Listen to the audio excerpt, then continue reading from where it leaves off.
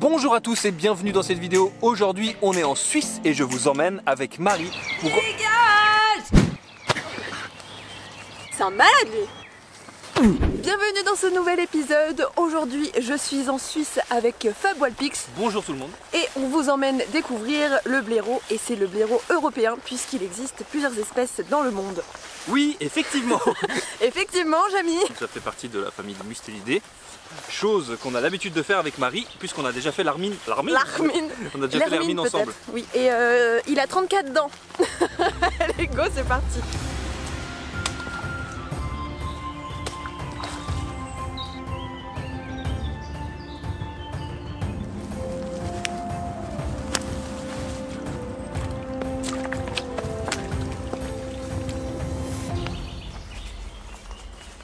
Tu vois là on arrive vraiment dans le- dans l'environnement euh, propice pour euh, trouver les terriers de blaireau. Parce que là c'est une sorte de petit fond de vallée et sur les côtés tu as des grands ravins. Le terrain est meuble, il y a des petites terrasses, ça leur permet vraiment de creuser leur terrier. C'est un des milieux que les blaireaux apprécient beaucoup. Regarde, là on arrive dans une zone où euh, il y, a, pas mal de passages de blaireaux et tout. Et ça c'est ce genre de choses qu'on peut trouver. C'est des Alors celui-là je pense que c'est un vieux, un ancien. Et c'est euh, c'est des petits trous qui creusent. Ça s'appelle des vermillis. Ils creusent ça pour essayer de chercher la nourriture, euh, des petits vers, etc. Et du coup, tu peux trouver dans la forêt plein de ces petits trous retournés. Ça peut aussi être des anciens pots, euh, des latrines là où ils font leurs besoins. Donc voilà, normalement, ouvre l'œil, tu vas trouver pas mal de petits trous comme ça.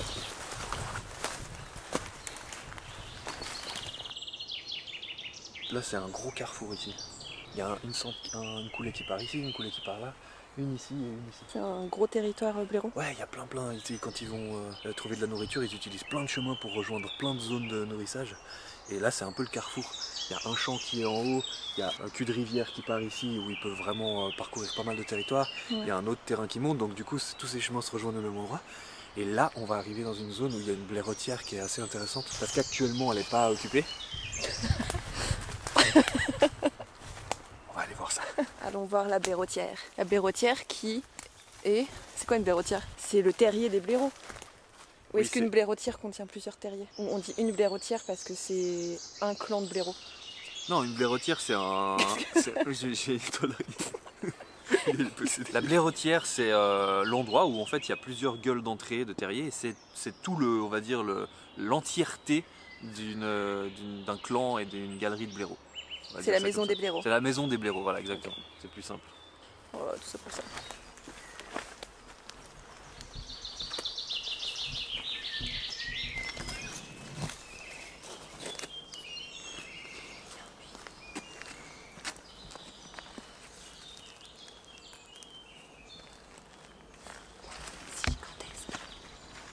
Pourquoi je chuchote alors qu'ils sont pas habités tu peux parler normalement. Là, on voit que c'est des terriers qui sont euh, plus du tout occupés parce que euh, si tu regardes bien autour de toi, là, tu vois qu'il y a vachement de feuilles mortes. Les gueules d'entrée, elles sont, elles sont sales. Et normalement, les blaireaux, c'est des animaux quand même assez propres dans le sens où l'entrée dans les gueules principales, elles sont clean. Il n'y a pas vraiment de merdier devant. Ils passent leur temps à nettoyer un peu leur entrée. Et là, on peut vraiment voir que tout le bordel qu'il y a dedans, ça montre vraiment qu'ils sont plus occupés. Donc c'est pour ça que je t'emmène sur ces, sur ces terriers. Là, tu vois, il y, avait avant, je pense, c'était ça devait être une des entrées principales, parce qu'elle est vraiment assez grosse. Il y a une, juste en dessous, et en fait, toutes ces gueules-là rejoignent un réseau souterrain qui est quand même, qui peut être parfois hyper complexe et surtout hyper grand. Avec les blaireautières euh, de, de grande taille, c'est qu'elles sont utilisées aussi par d'autres espèces. Par exemple, des espèces euh, comme le renard, ils partagent souvent avec euh, le blaireau le même euh, espace vital. Au-delà du renard, il peut abriter plein d'autres espèces comme le chat forestier, d'autres mustélidés, des petits amphibiens ou même des espèces de chauves-souris qui sont protégées. Donc des espèces qui, elles, ne creusent pas. Donc le fait qu'il y ait un blaireau sur un territoire, ça va profiter à toute une faune sauvage locale. Et c'est pour ça que c'est hyper important d'avoir une population de blaireaux dans ce genre d'environnement-là, parce que les espèces que tu as citées avant, elles sont incapables, elles, de creuser ce genre de galeries. Et pour les chauves-souris, il manque aussi beaucoup d'abris dû au fait que les espaces se réduisent, etc. Et elles ont de moins en moins d'endroits pour se planquer. Et les terriers de blaireaux font un bon gîte pour euh, certaines espèces de chauves-souris. oui ou pas? J'ai une crampe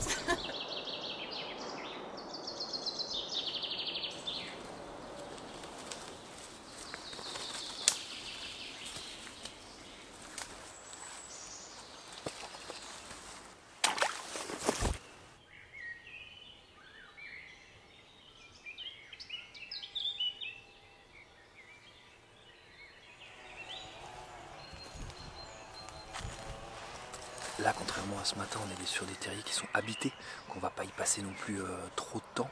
Mais c'était juste parce que je voulais te montrer qu'il y a pas mal de petits trous justement aux abords des terriers. Les terriers sont à 3 mètres derrière là. Et il y a plein de petits trous. Et là, on voit les crottes. Et du coup, là, tu vas vraiment bien voir euh, les, gouttières et puis la taille que peut avoir euh, une blairotière.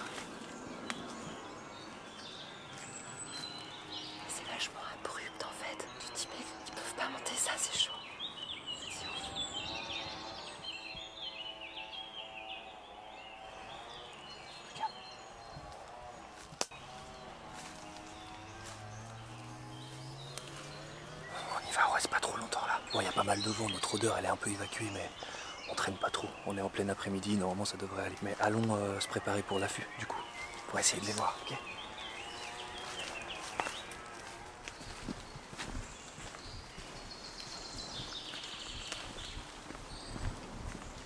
Le moment tant attendu est arrivé. On part ce soir pour quelques heures d'affût près d'une grande belle routière que tu as toi déjà repérée? Oui, oui, oui, c'est un que je, connais déjà. Cette, euh, au moins, je suis sûr qu'il y a une famille à l'intérieur. Il y a des petits, il y a plein de monde, ça va être cool. Et j'ai très très hâte. Ouais, ça va être, par contre, on va on baisse un ton, on commence à parler doucement. Euh, on s'installe assez tôt, donc là on est en fin d'après-midi, ça va. Ouais. Mais il va falloir attendre, je pense, en tout cas une heure ou deux avant que les premiers commencent à sortir. Il faut pas rigoler. On va essayer. tu me suis Oui, je te suis, se passe.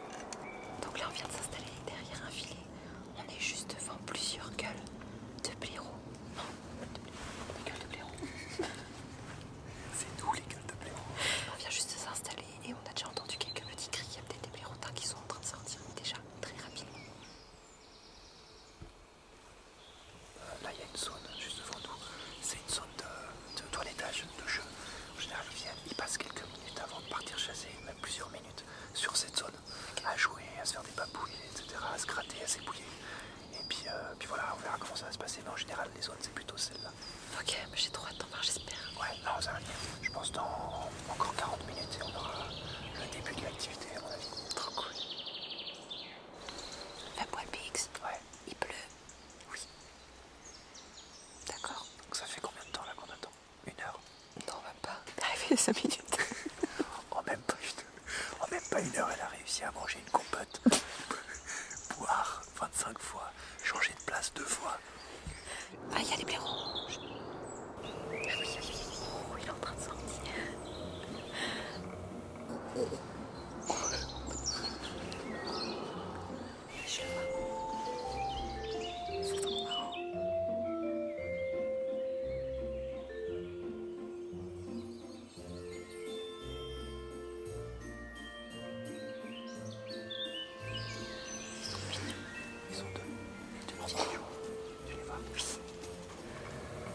Tu vois c'est typiquement les, jeux dont je te parlais. Ils vont jouer à fond, tu vois.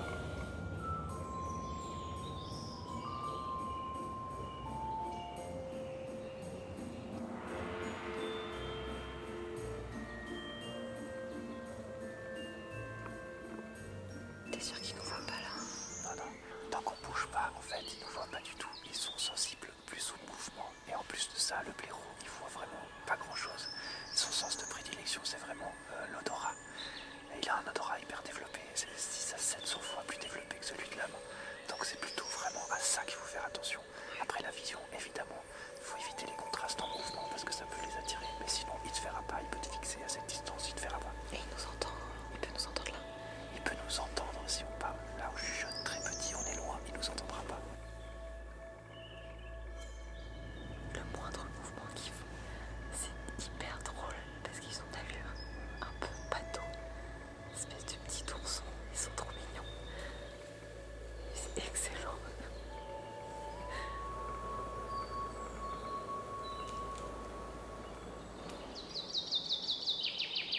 Ça a été hier Oui. C'est la première fois que tu voyais des blaireaux C'est la première fois que je voyais des blaireaux. Ça se Oh, voyait un mm. petit peu. Pourquoi ça se voyait? Mais t'étais un peu. Je te disais, prends les jumelles. Tu dis, non, je veux les voir en vrai, je veux qu'ils soient tout proches Mais de oui, j'aime pas les jumelles ou regarder derrière un écran, t'as pas l'impression de les voir en vrai, alors que là, tu les vois vraiment. Là, on a eu quand même du bol parce que, comme je t'avais dit, il y a pas mal de- d'individus dedans. C'est pas genre Ouais. il y a un blaireau solitaire. Non, il y en avait plein. Et il y a eu deux trois comportements marrants, genre t'as vu comme euh, euh, ils excavent en fait toute la, ils remplacent, c'est comme s'ils changent leur litière à l'intérieur.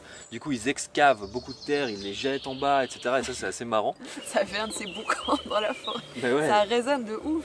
C'est trop drôle de les voir sortir par l'arrière et se dandiner les fesses. Ils twerk. Ouais, ils un peu et du coup, je rigolais beaucoup toute seule.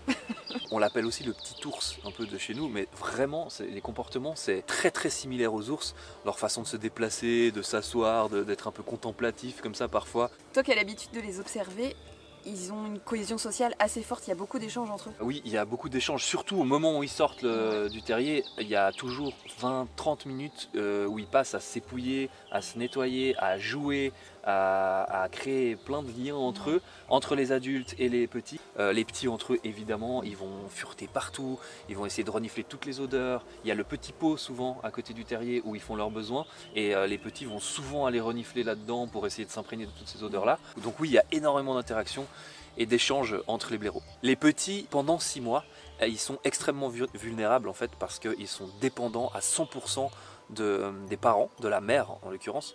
Et euh, s'il y a un moindre problème avec la mère, par exemple, elle se fait écraser par les voitures, ce qui est souvent le cas, on perd toute la portée. On perd les 4 blaireautins. La croissance d'une population de blaireaux, ça reste quand même très lent. Il n'y a pas des naissances tous les ans. Non, et surtout pas tous les petits qui survivent à leur naissance en plus. Ouais. Donc ça veut dire sur 4, on a peut-être que 2 qui vont arriver à maturité. Il y a une forte mortalité, il y a peu de naissances et du coup ça reste quand même très fragile.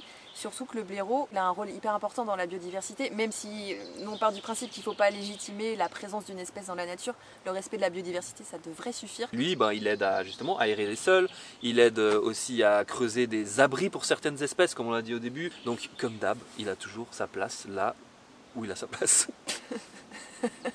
Il y a aussi une pratique euh, barbare d'un autre âge qui s'appelle le déterrage ou la vénerie. Ça consiste à aller chercher le blaireau à l'intérieur de son terrier en envoyant des chiens qui, eux, vont l'acculer au fond. Ensuite, ils vont creuser par-dessus, l'extraire avec des énormes pinces, euh, la- le donner euh, en curé au chien, donc quasi vivant, parfois abattu avant avec une arme blanche. C'est un peu considéré comme de la barbarie en C'est 2019. quoi. une horreur qui- totale. ce type de chasse qui est considéré comme Une tra- culturel ouais, en c'est une France. tradition, Il n'y a alors, plus qu'en euh, France qu'on fait ça. Et il y a pas mal de des pétitions, qui tournent et euh, on, on vous en met une sous la vidéo. euh, et si- qui sont utiles et si que ça vaut vraiment la avis. peine de- de- d'aller les signer parce que ça, aujourd'hui, non, c'est plus possible. Il faut savoir que le blaireau, il est protégé pratiquement chez tous nos voisins européens. Il n'y a qu'en France où il est chassable, il est considéré comme gibier. Et où cette pratique est permise Oui, la- le déterrage est, est permis que en France aujourd'hui, parce que culturel. La meilleure façon de le protéger et de le préserver, ça reste quand même la connaissance, comme pour toutes les espèces. Donc, aimez les blaireaux. Merci beaucoup d'avoir regardé cet épisode. J'espère qu'il vous a plu et que vous avez appris plein de choses sur une espèce commune, mais finalement peu connue. Merci Fab.